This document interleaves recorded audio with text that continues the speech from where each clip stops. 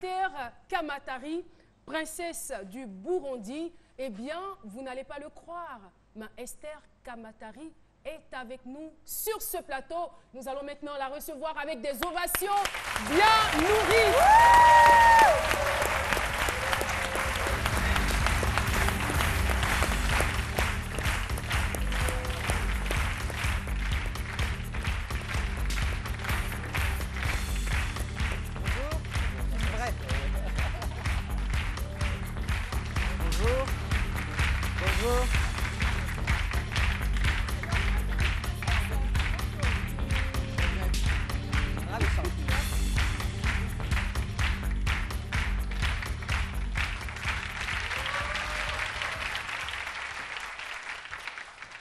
Merci beaucoup. Esther Kamatari est donc exilée en France depuis de nombreuses années. Elle est mannequin international de la haute couture française. Elle est aussi écrivaine et c'est une vraie princesse que vous avez sur ce plateau, cher public. Une vraie princesse. Et c'est l'élégance en fait chère. Esther Kamatari, bonsoir Bonjour. et merci. Esther Kamatari, bonjour et merci de répondre à l'invitation. Merci infiniment. Je suis très heureuse et très fière d'être votre invitée. Ça nous touche. hein. J'ai envie de dire, quelle humilité de la part d'une princesse. Mais aussi quelle classe. Tout à fait. Quelle Très élégance. heureuse, très fière d'être votre invité. Vous avez tellement de politesse, tellement de. Enfin, Mais c'est tellement sincère. Alors, on va donc euh, remonter euh, dans l'histoire, aller retrouver votre vie de princesse. Vous avez entendu euh, quelques réactions de notre public par rapport à cette vie de princesse. Alors, c'était quoi, vous, votre vie de princesse?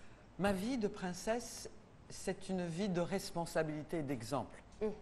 On ne peut pas imaginer ce que je- j'entendais tout à l'heure, qu'on en rêve d'avoir des gardes du corps, euh, etc. C'est une illusion.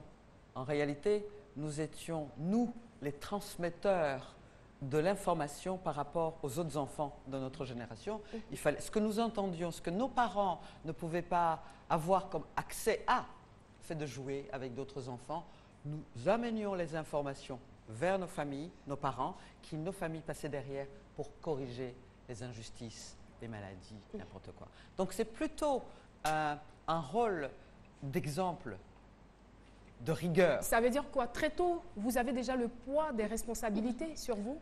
On ne se rend pas compte quand on est enfant, tous les Mhm. enfants sont les mêmes, mais on sait qu'on ne vous passera pas euh, une bêtise, on sait tout. est- Je vous donne un exemple. Mhm. J'ai un souvenir très précis quand j'étais enfant, j'allais à l'école euh, avec d'autres enfants, mais moi j'avais des chaussures et les autres n'avaient pas de chaussures. Mhm. Donc ça me gênait infiniment de, de- de les mettre mal à l'aise. Donc je, je partais, j'avais repéré un petit coin, il y avait une petite touffe d'herbe, j'enlevais mes chaussures, je les planquais, je partais à l'école pieds nus. Et je au retour, je les récupérais. Puis ma mère me disait, mais, hum, mais vraiment, mais tu es extraordinaire, tu n'uses pas tes chaussures. Elle savait ou elle ne savait Elle le pas? savait forcément. Mhm. Mais je pense que le fait d'agir comme ça euh, montrait que j'avais compris la leçon, qu'il fallait surtout humilier personne. Mhm. Donc c'est plutôt une vie d'exemple et de responsabilité. Alors, je- j'informe. Oui, allez-y, vous pouvez applaudir. Il est important de savoir euh, que le père, votre père, le prince Ignace Kamatari, était donc le frère du roi Mwambutsa, Mwambutsa IV du Burundi. Absolument. Alors, euh, il est survenu un événement qui vous a donc contraint de, de quitter le Burundi. Alors, euh, nous sommes en... Mon père est assassiné Mhm. en 64. L'assassinat de mon père, lui c'est mon oncle, c'est le roi du Burundi, l'assassinat de mon père va déterminer mon futur. Je ne peux pas vivre dans un pays qui tue les pères. Et comme je ne peux pas me bagarrer avec tout le pays, Mhm. c'est moi qui pars. Vous étiez l'aîné de la famille? Je ne suis pas l'aîné de la famille, je suis l'aîné des filles. D'accord. Et donc, je vais partir euh, en France. Mais je Pourquoi la France? Parce que j'avais un professeur d'économie, j'avais, j'avais euh, réussi mon concours pour entrer à l'École nationale d'ad- d'administration au Burundi. J'avais un professeur d'économie qui ressemblait à Alain Delon.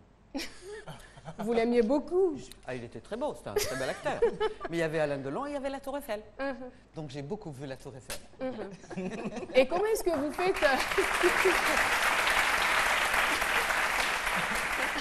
comment, Enfin, je ne sais pas si je comprends les choses de la même manière. Comme tu as dit, j'ai beaucoup vu la Tour Eiffel. Elle a vu la Tour Eiffel, elle a vu Alain Delon. Je Je pas vu Alain Delon, mais va. j'ai Enfin, vu. le sosie d'Alain Donc- Delon. Donc vous arrivez en France, dans quelles conditions? Euh, donc, euh, je veux juste revenir en arrière. Donc, nous sommes euh, la chute de la monarchie au Burundi, c'est 60 68. Nous sommes dans une époque où tous les, les changements, c'est des coups d'État. Mhm. Aujourd'hui, c'est la démocratie, c'est les élections, mais à l'époque, c'était euh, les coups d'État. Donc, euh, mon oncle, lui, il va s'exiler euh, en Suisse. Euh, il, mourra en Suisse et euh, peut-être qu'on en reviendra là-dessus. euh, euh, le gouvernement burundi a e- fait exhumer euh, le roi, alors que le roi avait laissé un testament dans lequel il disait qu'il voulait en aucun cas être enterré ailleurs. Donc, depuis trois ans maintenant, je me, me bats pour qu'on respecte euh, euh, le testament du roi Mahmoud. Et d'accord. Et là, vous arrivez en France. Alors j'arrive Dans en quelles France. conditions? J'arrive en France. Alors j'ai été, tout le monde était, au- enfin personne ne voulait croire que j'allais partir, Mhm. parce qu'à l'époque une fille partir à l'étranger, ça ça n'existe pas. Donc moi j'ai été sauvée par un, un détail. Rappelez, enfin vous ne savez pas, vous êtes tous très jeunes, mais avant, avant les téléphones euh, tactiles, il y avait les vieux téléphones, il fallait faire le Bien numéro sûr. comme ça. Et donc euh, on avait dit, euh, bah, enfin on avait dit, si jamais vous la voyez partir, prévenez-nous. Donc je pense que la jeune femme qui était en charge d'informer que j'allais partir devait se faire les ongles ou quelque chose comme ça. Elle n'a pas eu le temps de passer la communication. Et quand on a su que j'allais partir, euh, l'escalier de l'avion était déjà relevé. Donc je suis arrivé en France avec rien, avec une toute petite valise dans laquelle il y avait mon éducation. Mhm. Vous aviez beaucoup d'argent, je suppose. J'avais zéro franc. Zéro franc. Et comment vous arrivez à vous en sortir alors? Eh bien, c'est toute l'éducation, Mhm. toute cette humilité qu'on a appris qui vous permet de glisser autour des temps. Et vous la- glissez jusqu'à ce que vous deveniez mannequin international de la haute couture française. Et vous serez donc la première femme noire à défiler pour un couturier de renom Lanvin et à porter la mythique robe de mariée. Absolument. Extraordinaire. Oui. Extraordinaire. C'est un véritable conte de fées, j'ai envie de dire. C'est pas un conte de fées, c'est du travail. C'en a l'air en fait. Oui, parce que tout le monde Quand on pense regarde que la façon dont vous êtes arrivé en France, on sait que la France, c'est pas, pas un pays où tout est, est facile. Mais nulle part, Mais tout le monde se bat là-bas et vous arrivez et vous êtes la première femme noire à défiler pour euh, une grande maison euh, de couture française. C'est Oui. c'est quelque chose d'extraordinaire. Merci, merci de le reconnaître. Mais ce que je veux dire par là, c'est toujours la même chose, c'est l'éducation qui vous accompagne. Sans éducation, on n'arrive nulle part. Mhm. Donc, euh, c'est vrai que j'ai eu cette éducation royale, de rigueur, etc., qui m'a appris les codes. Hein. L'exemplarité, les codes. Mhm. Et donc, comment je suis arrivée à la mode? Je suis arrivée, j'étais la première, mais j'arrive au bon moment. La vie aussi, c'est des rendez-vous. J'arrive au bon moment, j'arrive au moment où on veut changer les choses. Et c'est vrai qu'on me disait, mais qui êtes-vous? J'ai dit, je suis la princesse Esther Kamatari du Burundi. donc, les gens curieux, ils ne savent pas s'il y a un Burundi, si ça existe vraiment. Mhm. S'ils ne savent pas qu'il y a des princesses, parce que tout a été limité, j'entendais tout à l'heure qu'on imagine que les princesses c'est dans des châteaux. Mhm. Non, nous avons nos propres châteaux, qui ne sont pas construits de la même façon. Mhm. Nous avons notre propre culture, qui n'est pas identique à celle d'autres. Donc c'est une histoire de respect. Donc je vais arriver au bon moment et euh, je vais travailler effectivement pour, euh, euh, pour et avec un monsieur fabuleux qui s'appelait Jean-François Craille, et qui ne va pas me faire travailler parce que je suis noire, il va me travailler parce que je suis une femme qui correspond à une ligne précise. Mhm. Et donc, je suis noire, c'est tant mieux. Et donc, je serai le premier, la première mariée noire de la haute couture française. Et ça, Non. je suis très fière.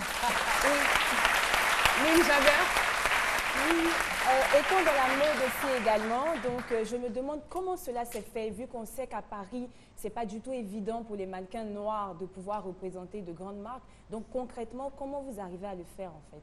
Bien, écoutez, l'époque a changé. L'époque a changé, il y a de plus en plus, il y a beaucoup plus de mannequins noirs aujourd'hui. Il y a beaucoup plus de diversité, mais c'est une question de consommation. Mhm. Moi, quand je vais au défilé euh, euh, de la Black Fashion Week, euh, etc., où je dis à mes sœurs, etc., la seule chose pour faire consommer, Oui. pour faire prendre conscience aux créateurs, c'est de consommer.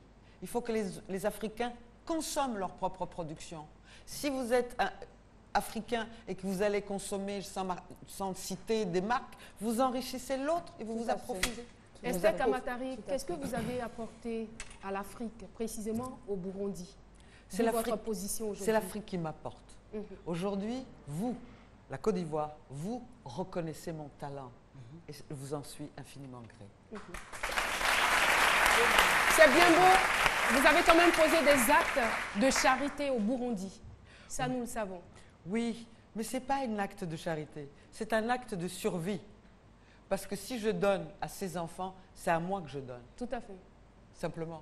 Donc je ne pouvais pas imaginer de voir ce pays euh, mourir euh, malheureux euh, et être là, spectatrice, à regarder à la télévision en disant Oh tiens, il se passe ça. Non, il fallait agir. Donc j'ai commencé à aller collecter des vêtements chez moi, chez ma voisine, au-dessus, l'immeuble, la ville. Et j'ai été effectivement la première personne qui a débarqué sur le tarmac de Bujumbura. Nous sommes en octobre, euh, en novembre 93, Mhm. parce que le président, le premier président démocratiquement élu avait été assassiné. Et je suis allé voir euh, le ministère de la coopération, c'était M. Debré à l'époque, et il m'a dit je peux tout, je te donne un avion. J'ai pris l'avion, je l'ai rempli, mais c'était ma propre survie. Mhm. Alors, pourquoi vous êtes à Abidjan? Ah, alors là. La question se pose. hein. Parce que vous m'avez invité. Mhm.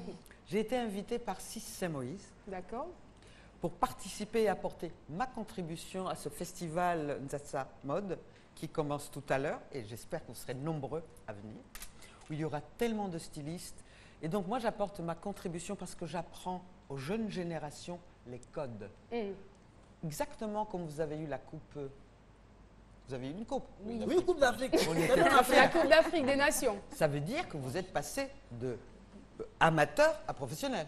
On n'était pas On avait déjà eu une en fait. euh, étoile, donc euh, nous avons la deuxième.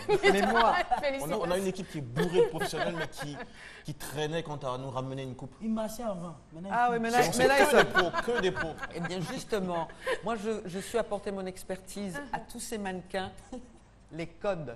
Ah. Parce que la mode, ce n'est pas du mannequinat, c'est un métier Ah.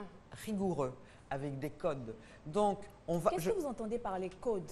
Les codes, c'est une atti- l'élégance. Mhm. Qu'est-ce que c'est l'élégance à votre avis? C'est un ensemble de manières. L'élégance est une fluidité du mouvement qui fait que tout ce que vous faites comme mouvement est fluide et ne heurte pas le regard. Oh là là, j'adore Merci beaucoup.